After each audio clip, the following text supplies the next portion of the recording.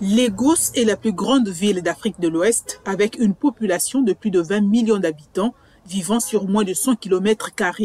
Ses caniveaux et ses cours d'eau regorgent de déchets plastiques notamment de contenants alimentaires mis au rebut.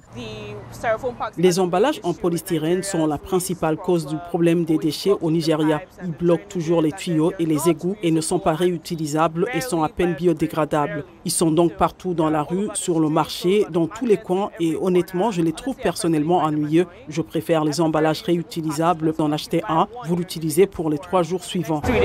Le résultat, selon la Banque mondiale, est un mélange suffocant de pollution de l'air de pollution plastique à usage unique et de déchets solides dans les rues de la ville.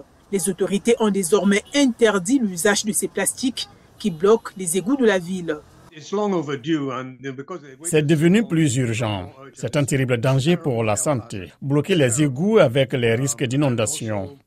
Mais il faut absolument que cela soit soutenu par une campagne intensive de sensibilisation au niveau local et je crois que le gouvernement devrait se préoccuper davantage de pouvoir persuader les gens de ne pas vouloir le faire plutôt que de devoir les forcer.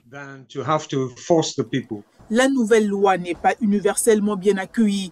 Les commerçants comme Angela ou Loma sont moins enthousiastes et plus préoccupés par l'augmentation des coûts liée à l'approvisionnement en alternatives plus durables. Elle estime que la faute en revient à la ville qui n'a pas fourni suffisamment de poubelles. Ils étaient censés installer des poubelles au carrefour ou dans les coins pour que tous ceux qui utilisent des assiettes ou de plats à emporter en polystyrène les jettent dans la poubelle et non les interdire parce que tout le doigt ne sont pas égaux. Parce que c'est l'assiette que les gens utilisent pour acheter de la nourriture vite, vite, vite pour manger et aller travailler. Certains affirment que la population doit être mieux informée et éduquée. C'est bien, mais ce n'est pas la seule chose qui obstrue les voies d'eau. Nous avons des bouteilles en plastique, des emballages, toutes sortes de déchets qui obstruent les voies d'eau.